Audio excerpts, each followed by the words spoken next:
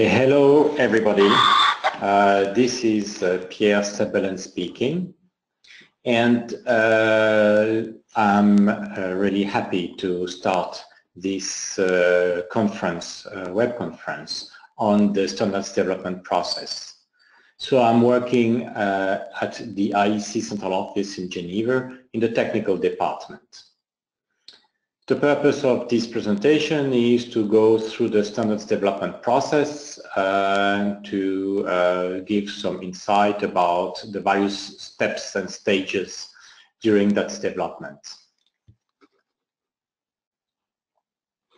Okay, so let's uh, move forward on this.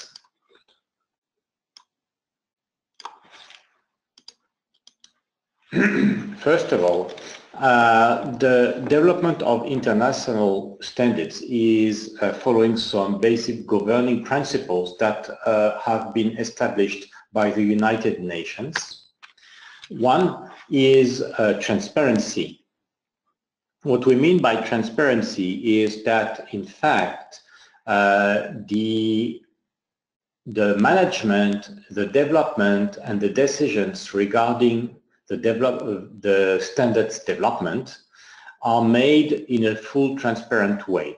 That we do not have standards projects that are initiated uh, and pop-ups like, uh, you know, without any justification and that uh, all the decisions and the, and the votes are clearly uh, documented and clearly, I mean, uh, published uh, on the IEC website. So in fact, uh, this is one uh, of the key elements in the IEC when we develop standards. We want to really ensure full transparency on uh, the way we work and the way we develop standards and the processes that we use for that. Another one is openness. So openness is uh, basically we need to include uh, all the stakeholders that feel being concerned by a given standard. So they should all have the opportunity and the possibility to be part of the development of these standards. Another governing principle is impartiality and consensus. So at least we have the way we manage uh, the standards development, uh, we have to do this in a neutral way. And we have to develop consensus between the stakeholders in order to agree on the content of the standards. Efficiency and relevance. Efficiency because we have to use development methods for our standards that are efficient and at that point we use the, I would say, project management approach for this and the relevance in a way that uh, the standards that we develop have need to have uh, a market need and the coherence. So the set of standards we have should be coherent one between the others. And finally, uh, there is the request also from the United Nations to address the concerns of the developing countries. All these governing principles uh, are documented in the United Nations in, uh, I mean, the documents governing the the World Trade Organization and mainly the elimination of the technical barriers to trade. So you have here a reference uh, to the full document explaining this if you're interested. Okay, so I see that there's already uh, one question which is, do you know if ISO follows the same principle of transparency so effectively uh, the ISO has the exact, exact uh, same uh, governing principles to follow as they are also uh, an organization recognized by the United Nations like the IEC.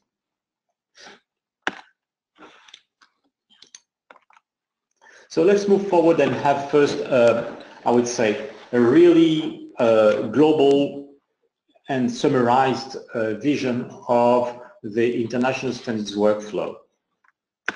So the objective of the process is to publish documents like standards, like technical reports and so on. On one side, we have technical committees. So we have committee 1, 2, today committee 124. Each technical committee is in fact a group of experts and it's an entity where they do the development for a specific technology field. So we have a technical committee on wind turbines, on uh, medical equipment, on building installations, on overhead lines, and so on and so forth. So we have more than 100 of these committees. On the other side, we have countries. And so in each country, we have a national committee, which would be like from the industry standpoint, which would be like a subsidiary.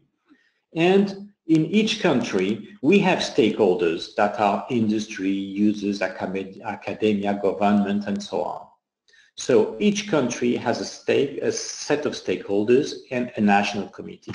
At that point, we have 83 uh, national committees um, in the IEC, plus um, 87 uh, committees in the developing economies. From there, in each country, uh, the stakeholders like industry, users, or academias, they send requirements to the national committee stating that they would need a standard on such a subject or such another subject. The national committee analyzes the need and determines, identifies the proper technical committee. So if the standards needed is about the wearables, for example, so wearable devices, then they would direct the request to the last technical committee we established, which is the 124.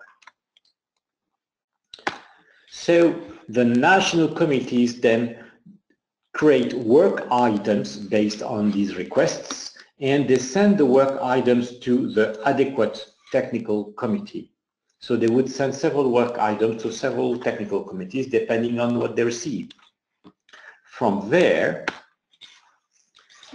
we then we have the national stakeholders that provide expert resources. So the industry users and academia for, from each country, they can send experts into the technical committees and these experts, they would be in the working group that will develop the standards. They will really write the standards. Once they have written a draft and that they think the draft is mature enough uh, to be commented by the national committees, then they would send back these drafts to the national committees. So then we have a set of exchange of information between the group in the technical committee developing the standards and the national committee reviewing the standard and voting on it. So we have an exchange with several phases where we have comments and votes coming and drafts coming back and forth. And once the final draft is voted and approved, then the standard is ready to be published.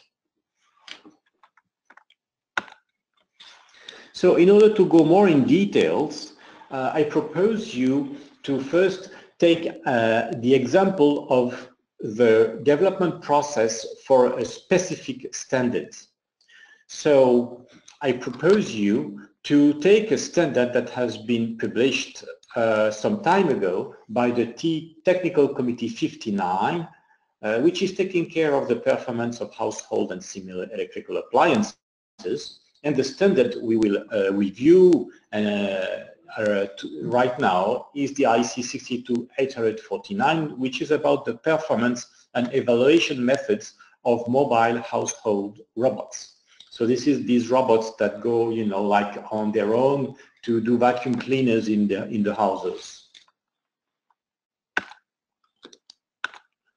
So first of all, the first step is to approve the start of a project. So in fact, to have the national committees voting and approve to start a new project, there is a ballot opened and this is called uh, the vote on the NP, NP for new work item proposal. So this uh, new work item proposal, which is a document containing the description of the standards to be developed, uh, is usually prepared by one of the P members of the committee and the secretary of this technical committee reviews this uh, document and then sends it to the central office. CO means central office in Geneva. The central office circulates and opens the, the vote system and the P members, they vote and nominate experts. There are uh, the criteria for uh, approving an NP is a two-third majority of positive votes and the nomination of a minimum of five experts to work on the project. The ballot time for the NP is usually 12 weeks. It can be shortened to eight weeks uh, by decision of the committee and can also shorten down to four weeks only in the case that where we have a table of content attached to the NP and not a full draft of standards. Once the ballot on the NP is closed, then there is the need to send back to all the, national committees the results of the votes that have been received by all the countries on that and also the comments. And this is done in the RVN document, which is the, the result of vote on NP. And there is a delay of four weeks after the ballot closing for the NP to send out that document. So let's have a look into an NP document. This is an NP document. So the NP document is made of, in fact, first of all, two pages of header and then the draft of the document. So let's go back through this header and see the information which is contained into that document. So we have the, in fact, okay, the proposal, the date, but the most important here is that we have the date for the circulation. This is when we sent out the document and opened the ballot for the vote. And this is the closing date for the ballot. So this is the, in fact, this is the date when this document is, is available on the IC website, and this is the closing date. Okay. Then we have a title for the proposal. So a title for the new uh, standards to be developed. Then we have the scope of the standard, which is explained, what the standard will talk about. Then we have a purpose and justification, which explains the market relevance for such a standard. Then we have a first draft or first, I mean, preview of the project plan when the first CD will be uh, circulated and when it is planned to have that uh, international standard published. This is just a rough view. And then there is an estimated number of meetings and so on. Then there is uh, other information. One important information here is, is there this is to mention if there is a need of collaboration with another IEC or ISO technical committee. Then here it is specified if this is a draft, if a draft is attached or if an outline is attached here. And here there is the nomination of a project leader, which is made by the proposer. Then on the second page of uh, the header, we have some input from the TCSC officers. We have well, the signature of the proposer and so on. And then there is an explanation here about the approval criteria and how to fill in the form. So this is some help text here uh, on how to fill in the form. From this, then attached as an annex to this uh, cover page, we have the first draft of the, the standard. And there it was told that it was said that it was a table of content. So we have here the table of content of the proposed standard and there is also a short forward to justify the market relevance. And then there is here the scope, some normative references, and then we can see already a beginning of a few things about the standards, okay, where we have mainly some text, but we have also, you know, just some uh, headers for clauses of the future standards. No text is being yet completely written in that standard. So this is a real rough draft, and this is this is a, you know, the document, the document is only a few pages. So this is the document and the information which is received by the National Committee to vote on the fact that they would or not approve to initiate a project on that standard. From there, once the ballot is closed, we have the RVN document. Let's have a look on it. So once the ballot is closed, this document is sent out to all the people in the technical committee and also the national committees that are uh, members into the, the technical committee. So there we have the RVN. so we have, well, the reference number, but we have mainly here the results for the vote. Here. So here we have the results for the vote with the number of people, P member voting, the ones that are approving, the ones having nominated experts and approved, and then the total number of P members. And from there, we have the vote results that the proposal is supported by a simple majority and it is at least 4 P members have, uh, or 5, 4 P members in the case of committees with 16 fewer P members, or at least 5 P members have approved, have provided experts. So we have this, and then we have the conclusion that the proposal is approved and the work item has been introduced in the work program under the following title, and there we have a number, so a number is assigned to that standard and we have a title. Then we have the project leader here. Then here we have a, propose, a proposal for a project plan, so the deadlines for the project. So this is filled in by the project leader who is proposing some deadlines like when the first CD is expected to be circulated, the CDV, FDIS, and the expected publication date for that pro, for that standard. Okay, and then on the other page here we have uh, we have the list of experts that have been nominated by uh, the national committees. Following that cover page, we have then a table which summarizes the vote results and we can see each country uh, uh, which is either P or O member in the committee and what they voted in full transparency. Then we have the experts again and then here we have the comments that have been made by the uh, national committees that voted on the standard. So like, for example, we have the German National Committee supports this NP in principle. However, the submitted text needs refinements in many points. We suggest to start a new working group in TC59 or a new subcommittee, for example. This was a proposal.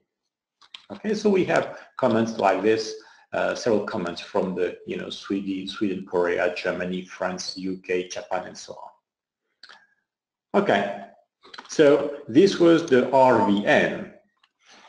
From this point, uh, the, I mean, the project has been approved, and so the group of experts and the working group can start to develop the draft of the standard based on that initial document that has been attached to the NP.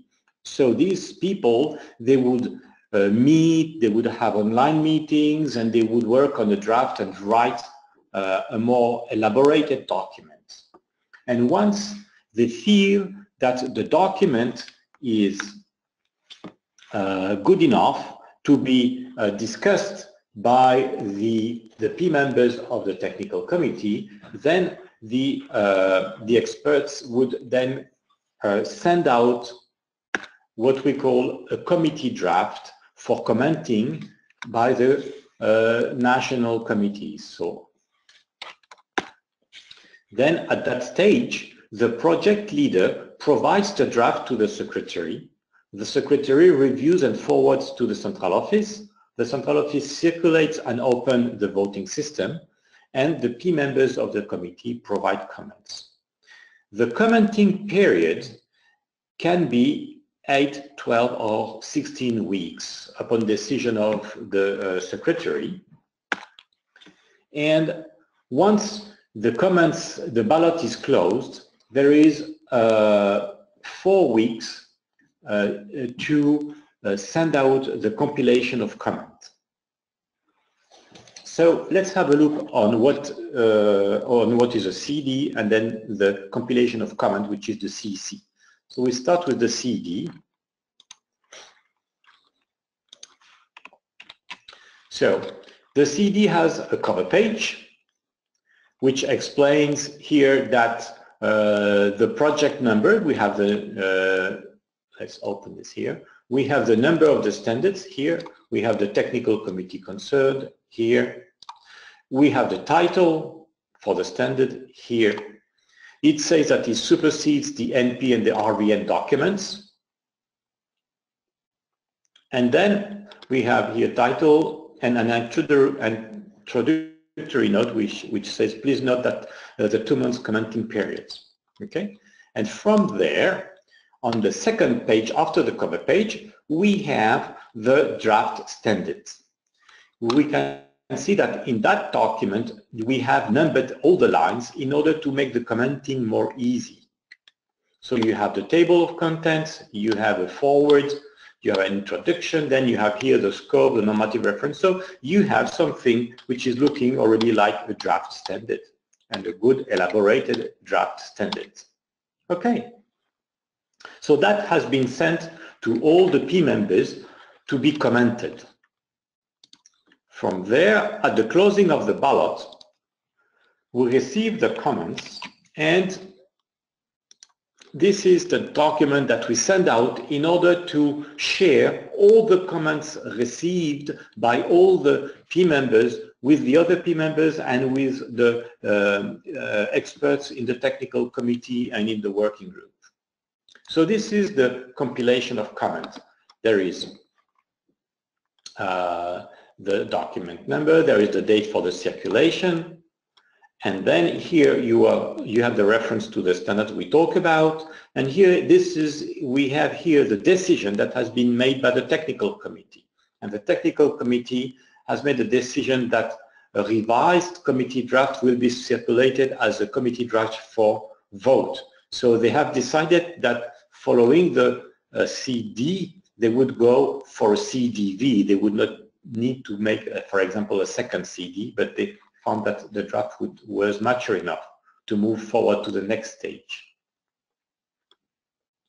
And then following this, on the, uh, the next page, we have the list of all the uh, P members and O members and who provided comments and who did not, and the date and the statistics, the total number of comments.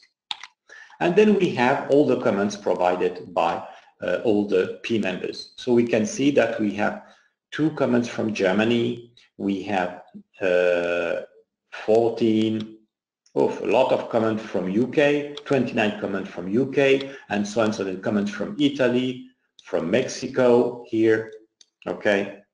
So here we see that on the first column here, this was Germany, Germany, and then the comments from UK are here, all the comments from UK. So then you have the line number the comments is dealing with, the clause or subclause number, and the type of comments. Comments can be technical, can be editorial, and can be general. Okay, then you have the comment by itself here in that column. And every comment, for every comment, the National Committee is requested to make a proposed change. So if in the comments they say we don't like this, then in the proposed change they have to say we would prefer to have this. And this is a requirement. If there is no proposal, then the working group may not consider the comment. And then here, in the observation from the Secretariat column, this is where the people, the group working on the standard, review the comment and, and propose its answers, whether they accept the comment or they reject the comment with usually a justification why they reject the comment. So you can see that some comments are accepted and some others are rejected.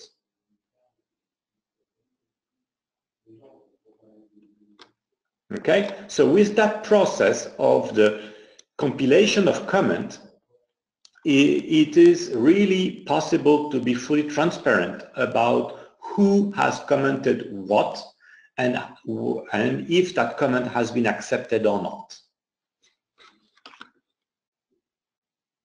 And so now, following these comments and the resolution of the comments, which is uh, the fact of stating whether it's accepted or not, the comment. So once the comments are resolved, then the working group developing the standard has all the information they need to convert the CD into a new draft, which will be the CDV. So they will continue to work on the draft, implement and integrate uh, what they have accepted as comments, and also maybe further work on the document as well on their side. And once they have done all this work, then they can move to the next stage, which is the first time where at that stage where there is a vote requested on a document. And that stage is the commenting and vote on the CDV, Committee Draft for Vote. So then the working group prepares that CDV and then the project leaders send that CDV to the secretary that forwards it to the central office. At that time, we don't circulate that document for vote immediately. First of all, we translate that document and also we offer, I mean, we translate it into French, but we also offer time for all nations. We offer six weeks to translate into their national language. Okay, oh, I have, oof, I have one or two questions that came in. Uh, I don't know whether I should stop. Uh, okay, I'm trying, I'll stop and address the question. So is it a requirement to justify rejected comments? So then we have to go back uh, here. No, so it is not a requirement to justify rejected comments. Um, this is just, I mean, a question of politeness and transparency. Mainly it's a question of transparency to explain why you reject the comments. But this is not a formal requirement uh, written in our directives. Then regarding the document numbering, it looks like the standard format is TC number, sequence number, and document type. This is effectively correct. So let's go back to the CDV. So um, there is the draft. So the draft is uh, is translated and can be translated also at the national level because many countries uh, have regulations that require the, the standards to be reviewed at the CDV level for public inquiry. And then if there is a public inquiry, then if it's in Italy, the standards needs to be translated in Italian, for example. Okay. Then there is a vote. Once this is uh, done, then the standard, the CDV, is sent out for vote and commenting for a 12 weeks period. So the ballot is open and the CDV document is sent out. At the closing of the ballot, then the acceptance criteria is a two-third majority of the votes cast by the P members, and we have also need to have no more than one quarter of negative votes. So once the ballot is closed, all the voting results and the comments, they have to be uh, shared together with the uh, members and the experts in the TC by circulating the RV, the RVC, and there is a deadline of 12 weeks after closing of the CDV ballot, okay, to do this. If uh, no technical changes are needed, then it is possible to proceed directly to publication. If technical changes are needed, then we have to go for an additional stage, which is the FDIS that we look at just, just after this. But first, let's have a look on the CDV document. Look at the CDV document here. So that's the CDV document. Let's go back to the beginning. So here's the cover page. We always have the same information. We have here the circulation date when the document was circulated. And we have here the closing date for the ballot. we have an additional field here that indicates whether the document is submitted to parallel vote at European level in CENELEC.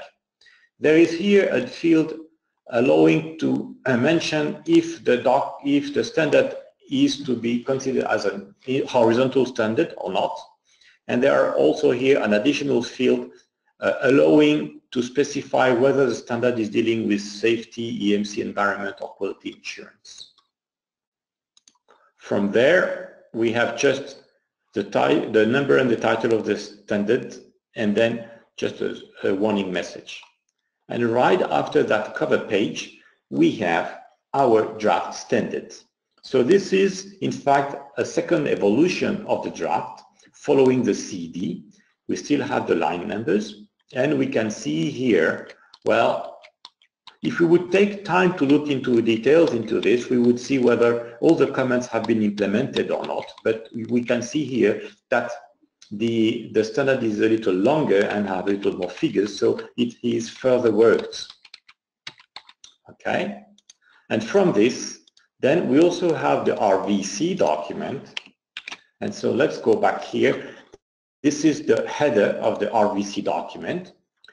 We see here when the RVC has been circulated, the date, we have the reference numbers and so on. And there we can see that uh, the decision and the decision following the, uh, the CDV is that the CDV will be registered as an FDIS. FDIS is Final Draft International Standard by February 2016. So there is here an indication of which next stage has been selected by the committee for this project, this project, and what is the target date for that next stage here. From there, then on the next page, we have the voting results summary. And we can see here in the vote column who voted abstain, for example, who approved and voted yes, like this. Here we can say China voted yes, and who voted against the draft. So for example, we can see here that Japan voted against the draft. And at the bottom here, we have a summary of the results and we can see here that we had 18 P members voting. We had 17 in favor, which is 94.4%. As the approval criteria is 66.7, then the result is that it's approved. And we have a total of 24 votes casted, one against, which is 4%, which is inferior to 25%. So the second approval criteria is also filled in. This is approved. And so the final decision is that the CDV is approved. So here we see the results. And then on the next page in the same document, we have again all the documents received, uh, all the comments made by the P members on the document. And we have, okay, here this is from Czechoslovakia, that these two first comments, then comments from Germany and so on. And then we have the line number, the clause. This is a technical comment and comments which suggest determining relate, relative humidity and adding the following sentence. Relative humidity 50% plus minus 5% here should be taken to avoid changes during a test and this is rejected. The condition of relative humidity is well defined by this standard and more restrictive requirement is not necessary.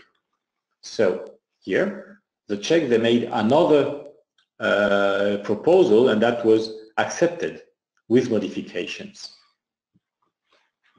Okay, and so we can see here that we have quite a few comments from many countries and that most of these comments, they have been accepted and we can maybe go back to the Japanese comment here. We can see that the Japanese, they are not happy with, um, uh, so this document covers so only, only so-called automatic batch operated cleaners, which is shown in Annex B. Title should, should content the, or should show the content of the document. Then they don't agree with the scope, which is too vague. Too vague. The scope shall uh, show limits, etc. So we have some comments from Japan, quite a few, and some of them have been rejected, some of them have been accepted.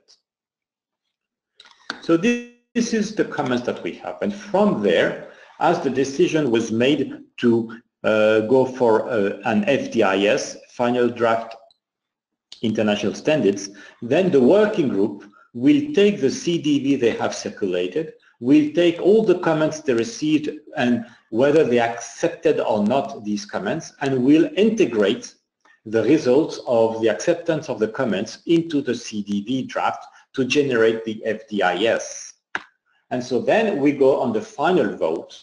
And so the working group prepares the FDIS, and then that FDIS is, sub is submitted to the national committees for vote only. So we vote on the FDIS, which is the final draft international standard. The draft is prepared by the project leader and sent to central office uh, by the secretary. Then the voting period is six weeks. The acceptance criteria are the same. We need a two-third majority of the votes, and we need no more than one quarter of negative votes. All negative votes shall be justified by a technical reason, and the deadline to send out the result of the vote after the closing is two weeks after the closing there. Oh, I had a, I have a question which is coming in and which says, who have a say formally in process in processing the received documents to the CDV, who finally decides. So the responsibility of the content of the draft, I mean what is written in a CDV or what is written in, a, in an FDIS, the responsibility is to the secretary. So the secretary could, by his own initiative, change the content of the standard before sending it to the central office. That's his responsibility. But if he does so, he also has then to justify this to the working group. Okay? But the responsibility of the content of all the documents is to the secretary.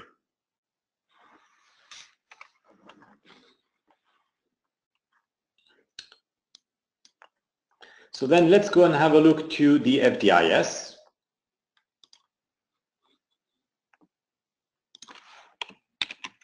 So this is the FDIS form.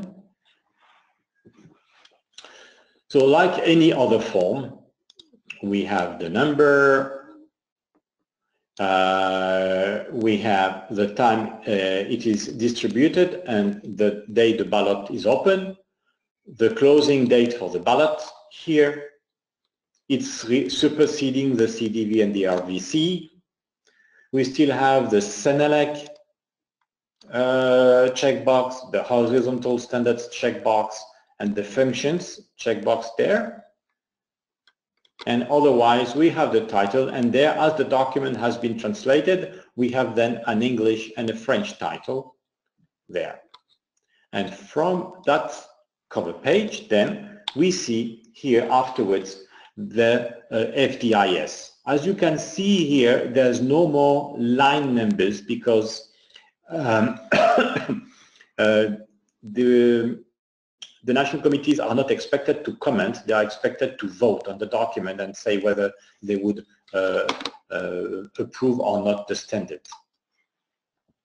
So the document that you see now as the, as the FDIS submitted for vote is exactly the same, is completely finished and edited. This is the same that we plan to publish afterwards. So this is a document that will not be further uh, edited, modified, and so on. This is like it will be published, and then the national committees, the members, would vote yes or no on that document.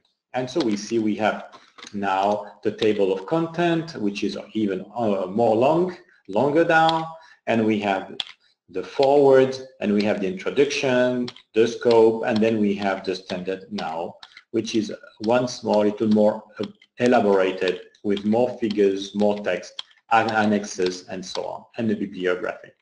So this is the document which we have to vote on, and this is the FDIS uh, form. And then once the ballot is closed, Then we send out the RVD, which is the result of vote on an FDIS. And there we can see here the result of the vote. And we can see here uh, that uh, in the vote column, we can see all the P members and the O members. Here you can see the status, either the country that are, oopla, that are P members in, in the committee, here, or that are O member in the committee. So you can see which uh, country is P or O member, and then you can see here whether they have voted yes, abstain, or they cast a negative vote. And we see there's no negative vote, and we see that Japan, who did cast a negative vote on the CDV, changed to an abstain vote. And so now we can see here the summary of the voting results there. And we can see that we had uh, 22 members voting and that we, that we have uh, 22 members in favor and we have 100% of approval. And so this is approved. And then we have zero vote against. So this is also approved. So the final decision is that the standard is approved. And this is the content of the RVD, these two pages. And so once the RVD uh, has been circulated, then we can just go to the next page, uh, which is the publication of the standard. And now we have been through the whole process. Okay, I'd like to show you now a few summary slides to remind about the key issues about all the, the key stages in the process. So in fact, in the standard development process, we have seven stages uh, for the, to go through the whole process. I didn't mention up to now, uh, didn't talk about the first stage, which is optional, which is the preliminary work item, which is in fact uh, the action of publicly recording in the program of work a preliminary work item which shows the intention of the committee to start the development of a standard in for a specific subject. So it's just a way to raise the flag and say, hey industry or hey stakeholders, uh, we are planning to work on a standard on that subject. This is the preliminary work item. After this, then we go back to the uh, process that uh, we've now seen. So we have the NP, which is the new work item proposal, and the vote with the RVN, with the result of vote on the new project. Then we have the working group uh, draft, which is an internal document inside the, the working group developing the standard. Then when they feel it is mature enough, they send a CD for comment to the national committees or the P members, okay? And once they receive the comments, there is a compilation of comment, a CEC, which shows to everybody what comment have be, comments have been received. Then once the, this is uh, done, then the project team works on the CDV, opens the ballot, and then on that CDV, we have votes and comments. And in the RVC, we can see which uh, country voted what. And also we have the compilation of all the comments together with the answers from the working group. Then we have the final draft international standard, which is voted, but no comments. And then we have the RVD, which is summarizing the votes on the FDIS. And then we have the publication of the international standards.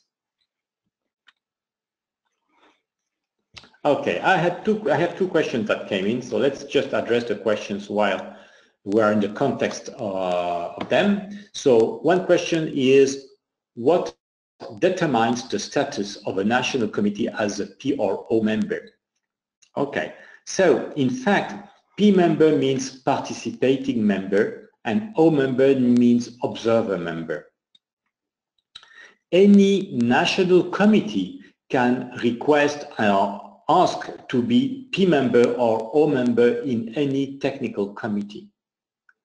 When you request to become a P member, you make three basic requirements. The first one is to provide experts in the working groups of the technical committee. The second one is to vote and comment on all the documents. And the third one is to send delegates at the plenary meeting.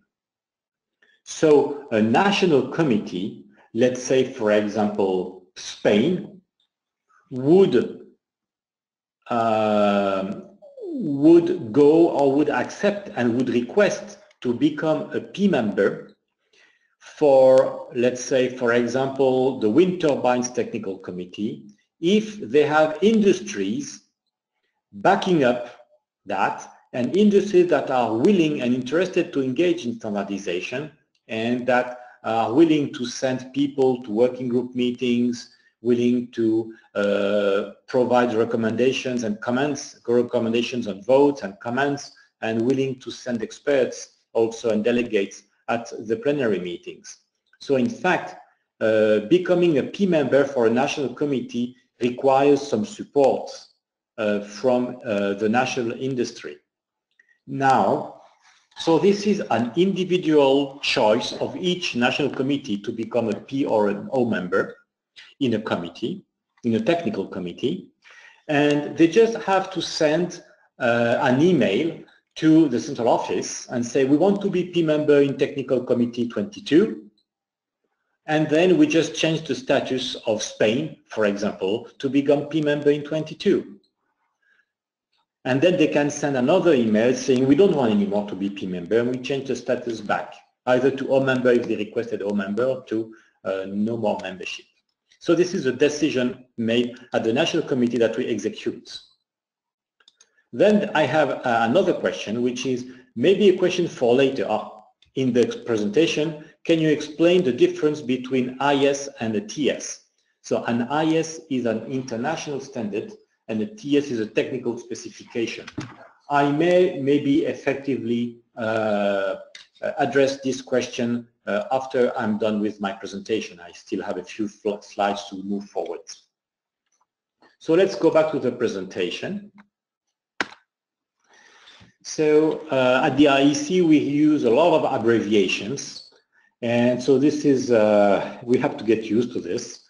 And so here is a summary of all the abbreviations that have been uh, mentioned uh, during uh, that presentation. And you can see here DNP, RVN, CD, what they mean.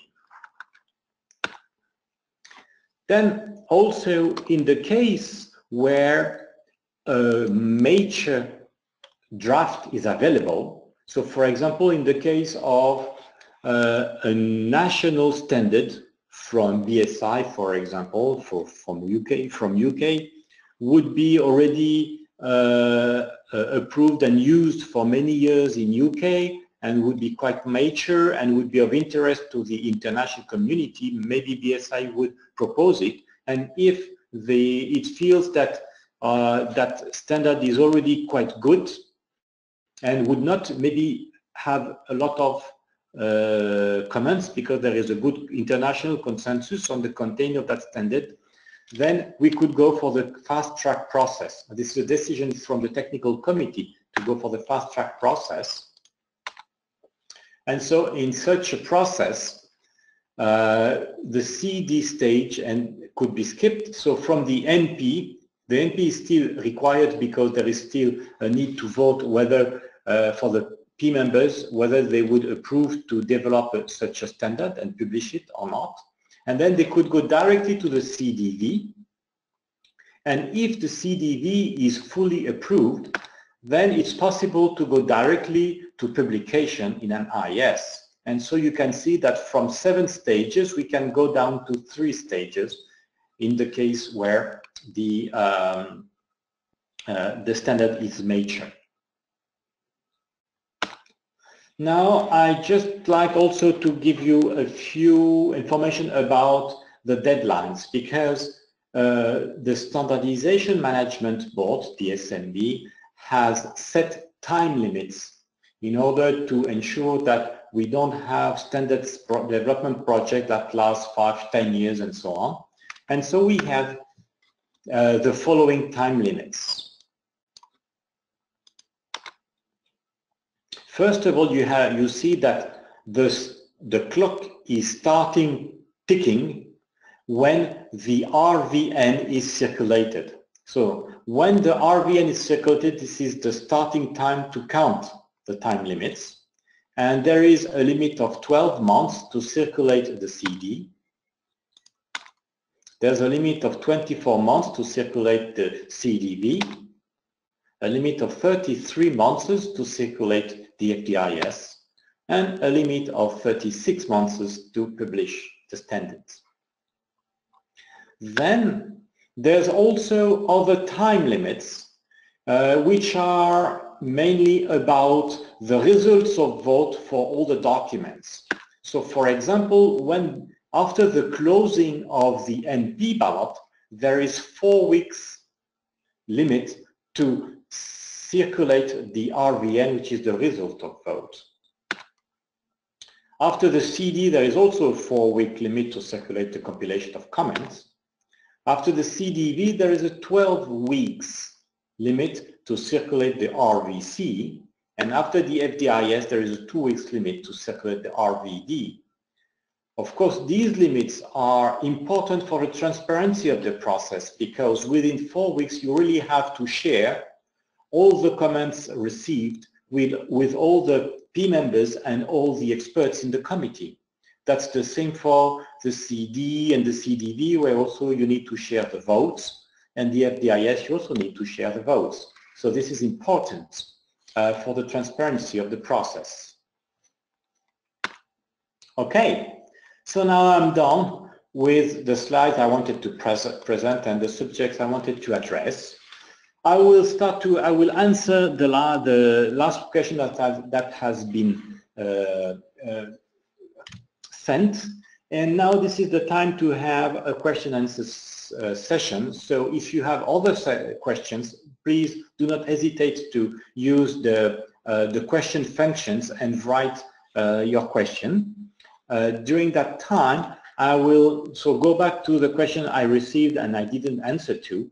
The question is, uh, can you explain the difference between an international standard and a technical specification? Basically, in the IEC, we have three main types of publications. We have technical reports, technical specifications, and international standards. An international standards is the document which requires the highest level of consensus. Okay? With all that process. If, I mean, the subject to be standardized is either very new and not really mature to go for a real full standard, or if the subject is still very contentious and that there is a low level of consensus on the requirements to be, uh, I mean, uh, documented into a standard, then it is possible to go to a technical specification. So a technical specification is a normative document with a lower level of consensus than an international standard. It needs and requires only a simple majority. It doesn't require a two-third majority and less than 25 opposite votes. A simple majority is good enough. A technical specification has a limited lifetime, uh, which is three years for the first revision and six years maximum. After the six years, either there is a project to convert the technical specification into an international standard or the technical specification should be withdrawn. And finally, also, I mentioned uh, a third type of uh, publication, which is the technical report. And technical reports are documents which do not contain requirements, but contain technical information, general technical information about the technology. and describing the technology, but they do not contain requirements uh, about safety, about uh, interoperability or whatsoever. Okay, so a technical report is just a technical document. So we have technical report, and a technical report also requires a simple majority uh, level to be approved and published. So we have technical report, technical specification, and international standards. Okay, I hope I've uh, answered the question. At that point, I do not see any further question raised here, here in the dialog box for the questions. So as I do not see any further question, uh, I just now then have to thank you uh, very much for your attention. As you can see, you also have the possibility to download the PDF of the slides that have been presented uh, this afternoon, Geneva time, afternoon Geneva time. And so uh, I just uh, want to thank you very much for uh, your participation and for your attention. Uh, thank you very much. Have a nice continuation of your day. Bye-bye.